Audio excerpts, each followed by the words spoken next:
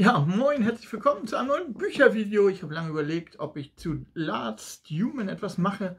Habe mich dann aber doch dazu entschlossen, ähm, von, wer ist da, Zack Jordan, ähm, weil ich finde, dass das eines der Bücher ist, wo die Beschreibung hinten ein ganz anderes Buch sich vorstellen lässt, als es eigentlich ist. Und ähm, ja, ohne Umschweife, deswegen werde ich mich einmal darum bemühen, euch diesen schönen Text vorzulesen. Es handelt sich um wirklich Science Fiction, Science Fiction im Weltraum weit entfernte Zukunft, so sehe ich das zumindest.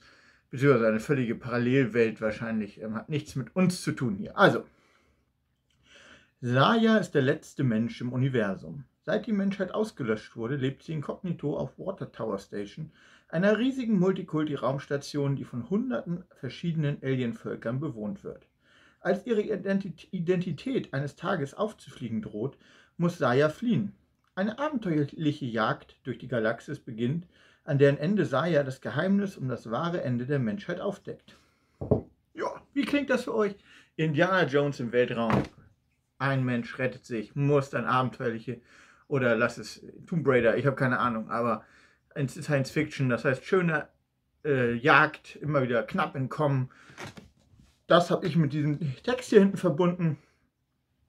Ähm, Hinten noch Andy Weir, der Autor von der Marsianer, sagt, so eine Space, so muss eine Space Opera sein. Und Dennis E. Taylor, den ich auch durchaus schätze, von Autor Ich bin viele, eine abenteuerliche Achterbahnfahrt durchs Universum. Und tatsächlich ist so das erste Viertel, Drittel, ich weiß es gar nicht genau, ist ähm, schon so ein bisschen in diese Richtung und ähm, zeigt auch gleich das, was ich eigentlich am stärksten finde an diesem Buch, dieses Universum, ähm, was darauf aufbaut, ähm, dass alles miteinander verbunden ist und alles nach Intelligenzen eingeteilt ist. Man ist also eine Intelligenz der Stufe 1.0, 2.0, 3, 4 und mit Unterstufen und die kleinsten Intelligenzen sind dann irgendwie Diener und umso höher du kommst, umso mehr kannst du erreichen, Macht, siehst mehr, äh, blub, blub, blub, blub, blub. Und ähm, das ist super mit diesen riesigen Raumstationen und ähm, das hat mir wirklich super gefallen. Und dann gibt es so einen kleinen Break irgendwie der erst ganz gut wirkt, auch wenn ich tatsächlich zu vielen dieser Nebencharaktere hier kaum Bezug bekommen habe. Ähm, zum einen ist es super, muss man kurz von Anfang an sagen, wie Saya aufgezogen wurde. Ähm, ja, einfach äh, kreativ, sehr, sehr gut und ähm, erklärt dann auch, warum sie sich gut, ja, also sag mal so, sie hatte die richtige Ausbildung. Aber hier ist halt, ähm, hier wird ganz klar der Fokus auf die Intelligenzen gesetzt. Das heißt, eine 3-Intelligenz kann um ein Vielfaches mehr planen als eine 2-Intelligenz. Und so planen die zum Teil das, und ich spoiler jetzt, eiskalt ein bisschen, es geht hier nicht anders. Ähm, planen im Grunde in ihren Plänen die Leben anderer über Jahre ein und oft oder in der Regel passiert das auch so. Und ähm, das geht hier bis auf die höchste Stufe Ebene, bis man dann halt doch irgendwann im ganz Großen ist. Denn dieses Buch hat 500 Seiten etwa und man endet nachher wirklich im riesengroßen und Saya ist dann halt am Ende, ja, nicht mehr die kleine Saya. Und es ist, ich habe bemerkt, wenn es eine, Intelligenz von 1 bis 10 gibt, dann bin ich eine 3. Äh, ich habe zwar irgendwie damit gerechnet, aber 200 Seiten mehr in diesem Buch durchaus gut getan. Und gerade am Ende ist es dann irgendwie sehr schnell vorbei für das, was es eigentlich in der Größe sein soll. Und ähm, ja, es ist ein ganz schwieriges Buch. Es hat mir durchaus gefallen. Am Ende musste ich sehr kämpfen. Wenn man am Ende kämpfen muss, ist eigentlich nicht gut. Aber es ist halt tatsächlich, wollte ich dann schon wissen, wie diese Wahnsinnsidee ausgeht. Und ähm, ich weiß gar nicht, ob es hier weitergeht. Ich weiß auch nicht, inwieweit es dann weitergeht, ob er dann ein bisschen kleiner geht. Dieses Universum finde ich super, diese ganze Idee.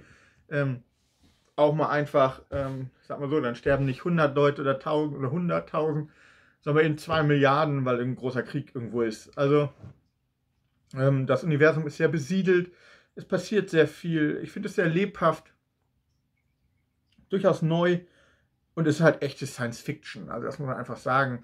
Da äh, wer eine Erde in der Zukunft braucht, der hat hier einfach keine Chance. Hier gibt es wirklich diesen einen Menschen, den man in einem Buch trifft und der Rest ist Hard Science Fiction. Also ähm, alles Mögliche, ähm, aber nichts, was man schon kennt. Und insofern ist für Leute, die gerne ähm, A, dieses Intelligenzthema gut finden, Key ist es nicht unbedingt.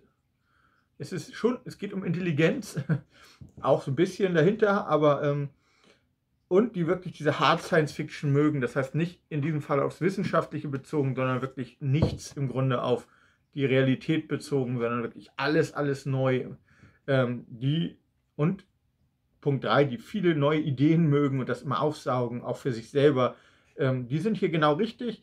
Ich finde das gut, dass sowas veröffentlicht wird, aber äh, hat eine relativ kleine Zielgruppe und deswegen, ähm, ja, es ist nicht dieser Indiana Jones Abenteuertrip im Weltraum. Das muss einmal ganz klar gesagt werden. Ähm, ja, aber sei, und das äh, kann man nicht von vielen Büchern sagen. Wenn ich in mein Buchregal gucke und mal würde mir ein Buch rausholen und sagen, wie heißt der Hauptdarsteller, dann, uh, puh, ähm, ja, dann hat man oft schon Probleme. Vielleicht beim ersten, dann weiß man es, aber Saya ähm, wird mir immer in Erinnerung bleiben, da bin ich ziemlich sicher. Ähm, und das ist doch auch schon eins, ein Markenzeichen. Ja, das ganz kurz und knapp einmal zu Last Human. Also wenn ihr Science Fiction mögt, vielleicht seid ihr hier richtig. Sonst bleibt mir nur zu sagen, ich wünsche euch noch einen guten Morgen, Mittag, Abend oder gute Nacht, wann immer ihr dieses Video seht. Und ich würde mich einfach freuen, wenn ihr meinem Kanal die Treue haltet. Auf Wiedersehen.